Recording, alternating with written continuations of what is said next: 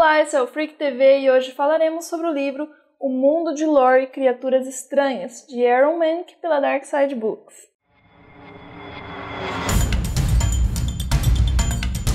Lore é um premiado podcast que surgiu em 2015 inspirado nas mais famosas creepypastas.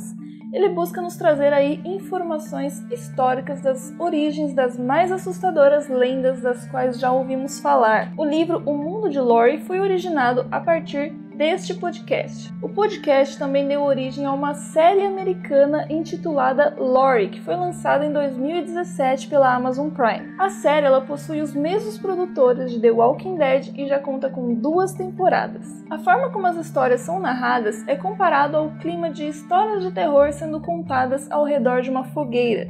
Sendo assim, tragam seus marshmallows e acomodem-se.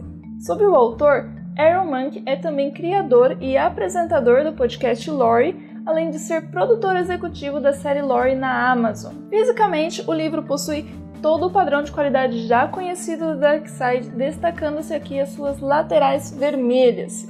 Eu amo quando os livros possuem as laterais das páginas assim coloridas, pois dão um destaque incrível para ele. Você vê um livro assim e pensa, já quero, antes mesmo de saber o conteúdo dele. Ainda sobre o visual, é importante ressaltar que o livro possui diversas ilustrações maravilhosas feitas pelo M.S. Corley que dão vida às suas histórias. O conteúdo do livro é dividido em cinco capítulos, onde cada um deles aborda um tema específico. O primeiro capítulo é dedicado aos que retornam da morte, primeiramente os vampiros. O livro traz a história da sua origem, passando por Vlad o Empalador, que serviu de inspiração para o famoso Drácula de Bram Bram Stoker até os medos mais profundos e reais que faziam com que as pessoas temessem e aprisionassem os seus mortos, chegando a usarem aí estacas ou fogo para destruir os seus corações. Esse capítulo ele também expõe um pouco aí a história dos zumbis, da origem do termo a histórias reais, repleta de horror e mistério. O segundo capítulo refere-se às criaturas pequenas, conhecidas como os outros Alux,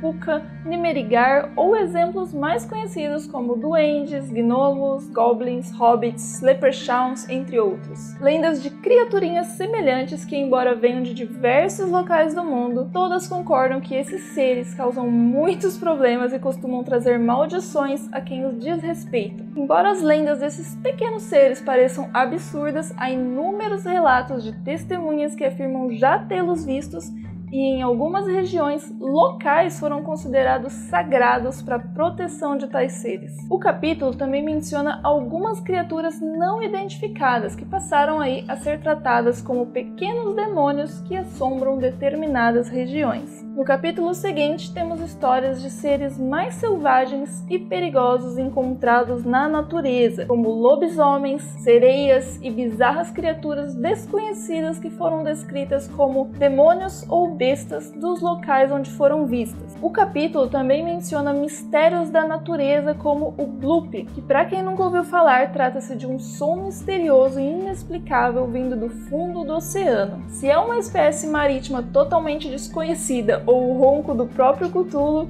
não se sabe. Bonecos assustadores como Robert e Annabelle e criaturas como o Demônio de Jersey, que inclusive já possui vídeo sobre eles aqui no canal, definem o tema do quarto capítulo, descrito como o nosso outro eu, onde são reunidas aí histórias em que narradores e testemunhas descrevem criaturas assustadoras, porém com grande semelhança aos seres humanos, seres totalmente humanoides ou aí uma mistura grotesca meio homem e meio animal. No quinto e último capítulo há algumas histórias bizarras sobre espíritos, casas e lugares mal assombrados e relatos de testemunhas reais que viveram alguns momentos de puro terror causados por seres fantasmagóricos e outras atividades paranormais. O livro ele reúne uma grande mescla de lendas de diversos lugares do mundo com fatos históricos e relatos de pessoas reais. Nós temos aqui um amontoado de histórias fantásticas que parecem terem saído diretamente de filmes de terror, algo assim que nós lemos e automaticamente o nosso cérebro afirma ser algo irreal e nos pegamos pensando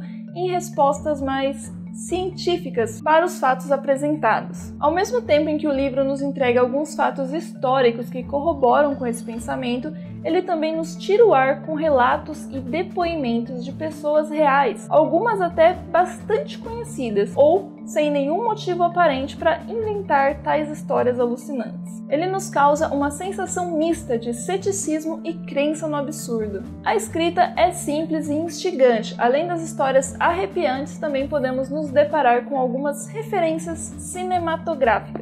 O mundo de Lori é assustador e sobrenatural, mas se é real ou fictício, precisará de uma boa leitura para chegar às suas conclusões. Mas enfim, se você é fã de livros, principalmente dos que causam arrepios, deixe o seu like, compartilhe esse vídeo, se inscreva no canal, pois em breve haverá novas resenhas de livros como este.